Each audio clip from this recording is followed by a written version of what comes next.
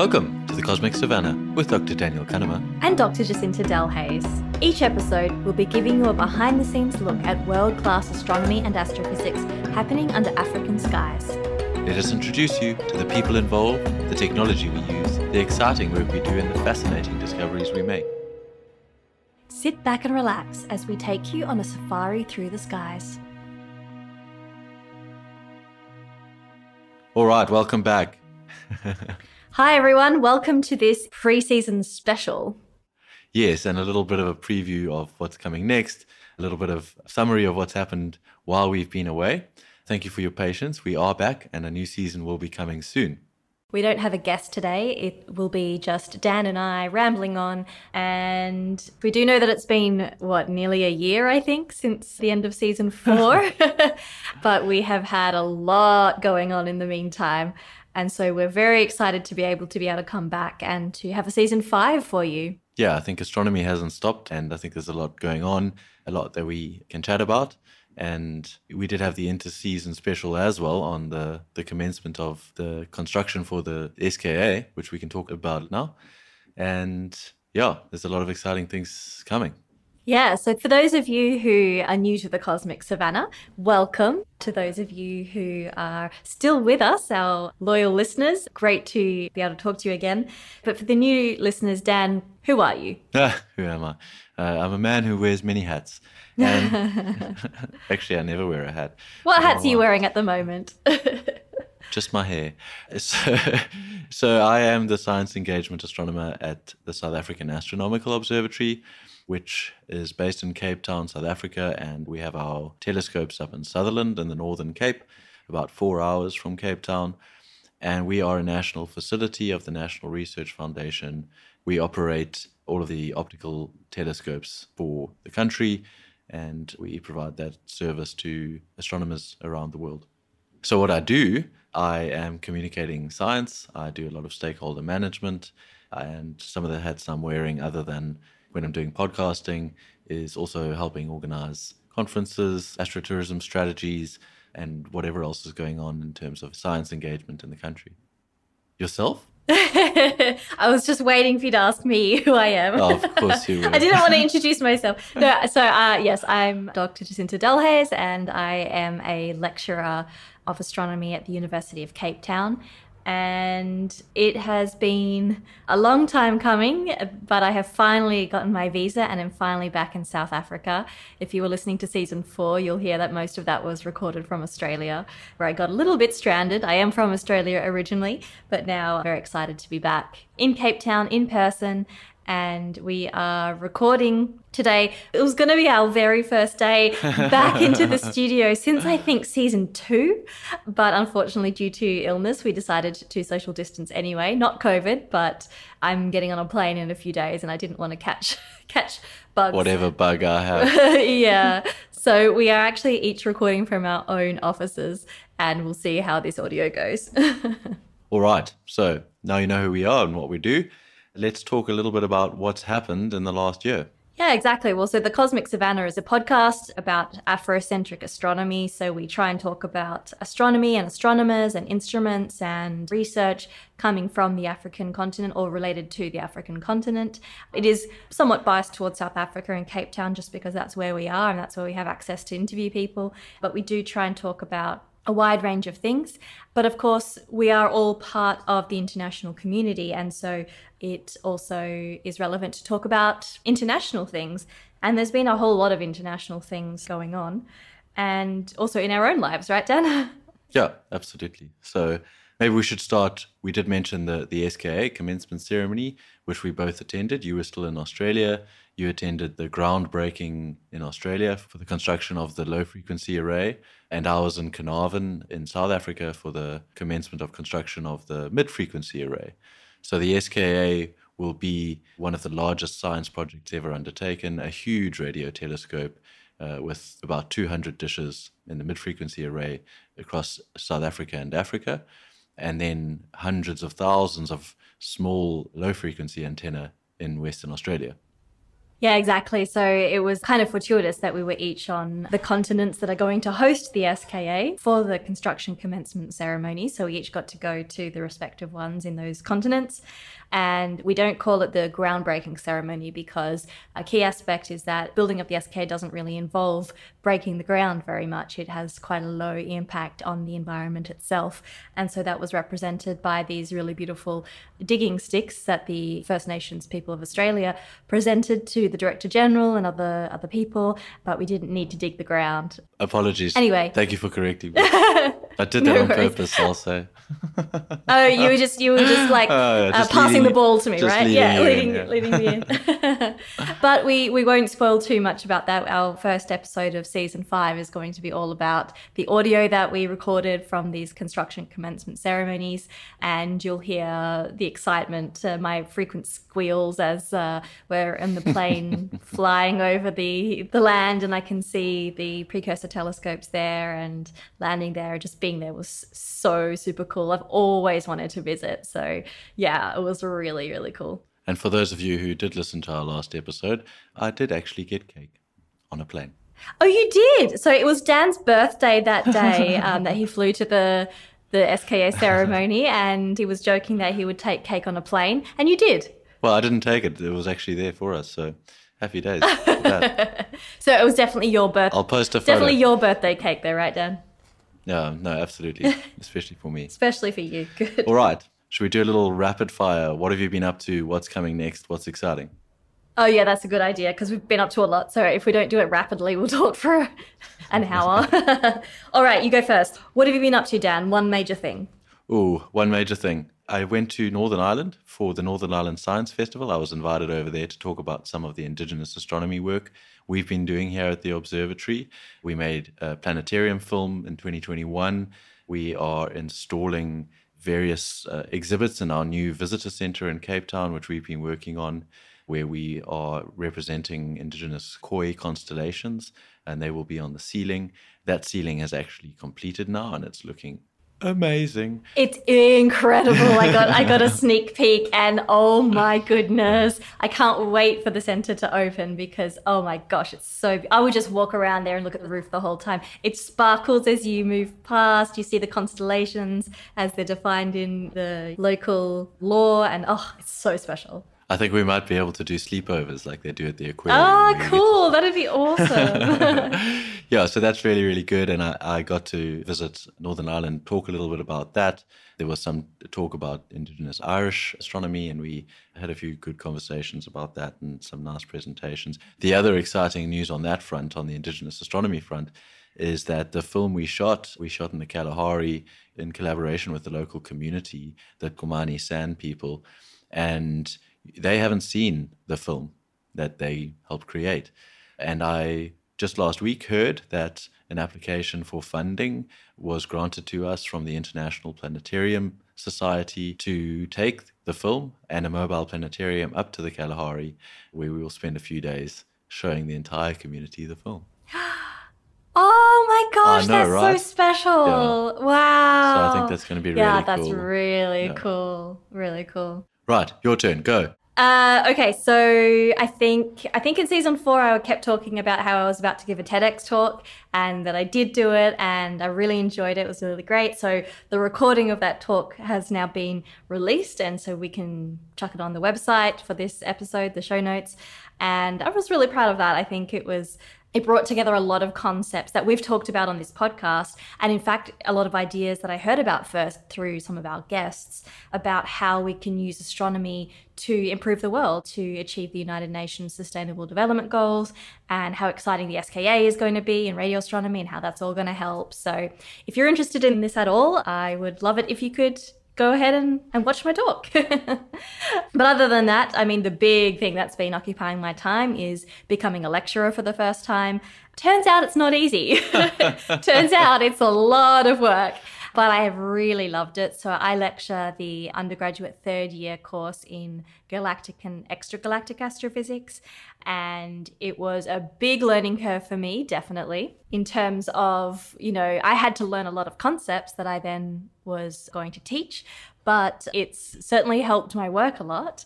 Uh, and and I really enjoyed the teaching as well. I found it really rewarding, and the students were really great and they were really engaged. Yeah, that's been taking up a lot of my time, and also supervising my research students that I have now has been a new experience for me, but also really fun. And getting to meet them for the first time in person when I came back to South Africa, it was really great. It's uh, so weird to see a person in 3D when you've you feel like you know them so well, but you've only seen them online and I went to a conference for the first time in person, which was great. The first time in person, the first time since COVID, I assume. yeah, yeah, yeah, yeah. Well, yeah. I have been to in person conferences in my career, but yes, the first time since COVID. And that was held here in Cape Town. That was our regular PHISCC meeting, which stands for Pathfinders. Ooh, I can't remember now. Pathfinders, something about H1, SKA. There's a lot of C's in it. Uh, something committee. Uh, yeah, okay, I'll have to look it up. anyway, we're going to do an episode on that as well, but it's all about hydrogen gas, which is one of my main research fields. And so it was really great to see the whole community come together to discuss that in person again. All right, so that was not super rapid from me, but Dan, throwing back to you, tell our lovely listeners about the boot camp that we ran. Yes, so we've previously run a boot camp where we got a whole lot of interested science students and postdocs who wanted to get involved in podcasting. And we ran another one late last year where we got, I think, just over 20 students and postdocs from around the country. In, and professional scientists as well. And professional scientists, yes, from around the country in various fields. We had marine biologists, we had all sorts. And we had a two session boot camp where we first chatted through how to go about making a podcast and, you know, science communication techniques. I think we had about 60 people registered for that one, actually. Yeah, absolutely. Yeah. And then the second workshop involved the students and attendees, rather, putting together a little podcast, a little three or five minute snippet about what their podcast's about and interviewing someone. And those we gave feedback on. And some of them were brilliant, hilarious. And I think we'll try and incorporate one or two in as little snippets in some of our next episodes or as standalone things uh, just to give people an idea of what else is going on there. And yeah, it was super fun. Yeah, hopefully we'll manage to put some little mini episodes in to show you those episodes that they made, just as a little little fun side note before our proper season five starts. And that boot camp we ran this time was in collaboration with the South African Agency for Science and Technology Advancement, SAASTA. Right, um, moving swiftly on, science. Yes. What's gone on in the last year? Well, I mean, for me, the most exciting thing was that the James Webb Space Telescope, JWST, has started doing science. So it's obviously last year it was well i don't know it was the year before i think it was actually launched it it had its long trip to its home and then it had a long time to be calibrated and to set up and everything. And then it finally started doing science. And my goodness the science that it's pumping out. The first images were just so stunning. And if you haven't seen them you must go and see them. We'll put some of them on our on our website. This is you know looking at infrared light looking at the very distant universe in pristine detail, even better than what Hubble could manage. And yes, oh my goodness, go and check those out. I can't stop gushing. But it was kind of annoying because I had just finished writing all of my lecture notes, my lecture course for, for extragalactic astronomy. And then James Webb started, like, papers started coming out every single day. There was several on the arXiv presenting new results from JWST, which completely changed the field. And I was like, no, wait, slow down. so I had to put a caveat to my students that this is what we know about extragalactic astrophysics before June 2022 because at time of writing because it's all changing very quickly. So yeah, it'll be exciting to give my lectures this year and incorporate all of the cool discoveries that James Webb has done. Yeah, for sure. I mean, incredible telescope, you know, sitting out in deep space now, essentially, and taking incredible images of, of the, the distant universe and, and also nearby. You know, there were some incredible shots of some of our planets, uh, Jupiter, and then also looking now at exoplanets, analyzing the atmospheres of these. We've found water, you know, it's just an incredible instrument. And as you say, there's stuff coming out every single day. We talk often about the deluge of data that, that us as astronomers are dealing with. It seems like we keep building better and better observatories and telescopes, and nobody thinks about what are we going to do with all this data. It gets handed to us, poor old overworked astronomers. Yeah, do something, but like, yeah. Uh, Yeah, that's where we have students to try and help us do all of that work. Ah, yeah. All right, and there's been some advances in space science as well. Uh, yeah, as as you know all too well, and I'm sure the listeners do too. I do love a bit of space and rockets. So there's been some cool stuff going on. The DART mission, which was a, a mission to crash a spacecraft into an asteroid and try and redirect it, happened last year. And they successfully changed the course of this asteroid, only very slightly, but if you crash into an asteroid far enough out, you only need to move it by a, a, fraction of a degree and it'll divert it away from collision course with Earth. That's what we need to do. This one was never on a collision course from Earth, so we chose one which was fairly safe and tried to deflect it, which was successfully achieved. And the observatory here in Cape Town was was very involved in that and actually got some of the first and only images of the impact itself, a plume of cloud, which was a lot, a plume of dust and gas which came out, which was a lot bigger than was expected. So yeah, we crashed something into an asteroid and moved it. Nice. pretty cool. it's pretty cool. Um, and uh, speaking of rockets, there was also Starship. Yes, yeah, very exciting. The Starship first sort of orbital attempt went off, the world's biggest firework the world's biggest rocket that you know the most powerful rocket that's ever been built, bigger than the Saturn V, and the plan is for a fully reusable one. Although this one was not reused, if anyone did watch it, it managed to clear the launch pad, which was success number one. It managed to get through like the maximum dynamic pressure, which is a very big test for it. Managed to do that. The first stage and second stage did not separate. The pointy end of the rocket started to point down instead of up and then from there the detonation sequence began, um, and it was blown to pieces intentionally. Boom. very very cool. So that it didn't hurt anyone. But I think that you know two major stepping stones. The next one I think is is hoping to go up in July to try and get into to orbit, and this is all in an attempt to get humans back to the moon and then to Mars. So hopefully by the end of the decade we'll have people on Mars. Well, that's pretty exciting. I know, right? By the end of the decade, wow, that's so soon. Yeah, 2030-ish, I think. Oh yeah, my gosh. Right. And uh, what about the moon? Yes, so there was also the Artemis mission. So NASA have built their own space launch system uh, where they are launching a capsule similar to Apollo, but obviously way better now, 50 years later. And in an attempt to sort of test this out, they sent out Artemis 1, where an unmanned capsule was sent out into space around the moon and came back to Earth, splashed down, and everything went perfectly. So that's testing their systems to get people back to the moon. The interesting thing is that the, the Artemis mission has to work very closely with SpaceX because NASA is not building a lunar lander. So they will be sending this capsule up to the moon where it will dock with a I think it'll actually actually dock in low Earth orbit, the Halo sort of project, which is a lunar transfer.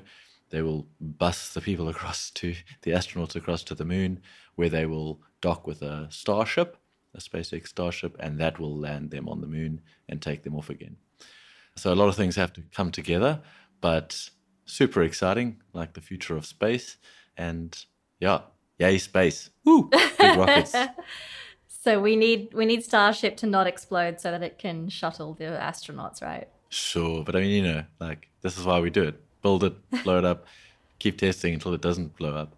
I, I saw, I saw when I was looking, I was doing some prep that SpaceX launched 61 reusable rockets last year, so you know more than one a week. Oh wow! And they've had something like 113 landings consecutively of the Falcon 9s. So they don't make a mistake anymore. It's incredible. Like they're landing these things, as I've said many times, on floating barges in the middle of the ocean. It's ridiculous. what a time to be alive. all right, all right. That's enough rapid fire, which was very unrapid. All right, what's coming up in season five?